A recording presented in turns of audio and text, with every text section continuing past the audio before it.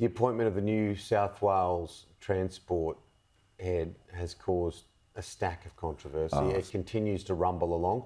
What do you think? Can, can, can Josh Murray stay in this job? No, What do you think? I, I think eventually he'll have to fall, fall on his sword. You, you and I, two weeks ago, predicted all this. We, we, we said two weeks ago it would be a slow burn, there'd be a ha- uh, an upper house legislative council inquiry, and there would be media interest. The, the, the two Sydney newspapers, the Daily Telegraph and the Sydney Morning Herald, have it uh, front page or near front page day after day.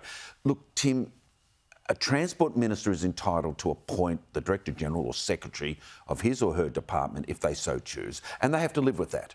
But unfortunately, there was supposedly an open um, tendering for this position. There was advertisements put out for it. There are applicants, and the minister intervened. That's what's got them into trouble. They should have just had the courage of their convictions and appointed Mr. Josh Murray as the best qualified person. But instead, they rorted the system, and that's what's got them into trouble. I, I, I don't know how this finishes. It's, it's dragged the minister down, and, and now, unfortunately, it's, it's in, in uh, court. The, the Premier, Chris Minns, a good, decent man who was a former staffer in the Iemma government with this Josh Murray.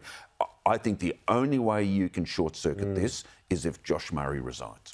And Jo Haylen is a bit of a star for Chris Minns too. Uh, he's already had to flip one minister. Yes, yep. And yeah, poor Chris Minns, he's only been in power three months. He's lost one cabinet minister and he may lose a second if he's not careful. Josh Murray has to go. It's simple as that. Okay, we've got Racing Dreams coming on in about an hour and a half. Uh, one of the greatest shows on television. Indeed, indeed. I'll be watching. But the reason why I, I say that is to segue to the next topic. One of the big problems for me, and I suppose I've got self-interest at heart here, is the date of the voice referendum. It's on the day of the Everest. The Everest. Would you put something like that on on Melbourne Cup Day? Well, you are very partisan, aren't you? It's got to be. Well, you're ATC chairman, so we're, we're, we're, We this- can live with the voice. We're on this horse together. But I, I just. You you are a purist, aren't you? You're not happy. Just vote early Oh, during it- the week, it- postal vote. And by the way, at this stage, the voice is lost. It's lost. I'm surprised. Oh, I've spoken to Labor insiders. It's lost. It's not going to get to 50% of the popular vote. They they're still hoping they can recover it, but it's more hope than confidence. Should have picked another date, shouldn't they?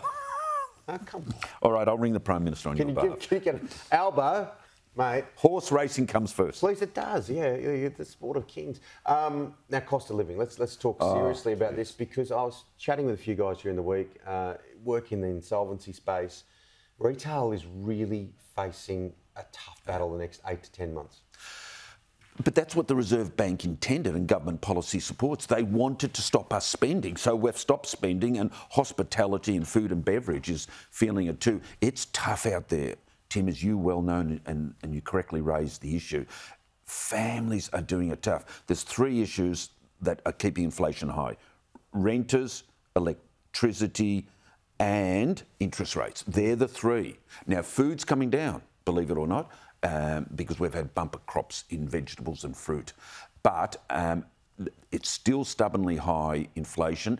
Wages inflation is, is keeping it high. Oh, we're not out of the woods. Oh, absolutely. You just go through shopping malls and you see signs on windows closed on Mondays Absolutely. because we can't staff, we can't operate. So, yeah, um, look, fingers crossed it's not as bad as, as what a lot of people are expecting because it's going to be a very, very difficult passage towards Christmas and beyond.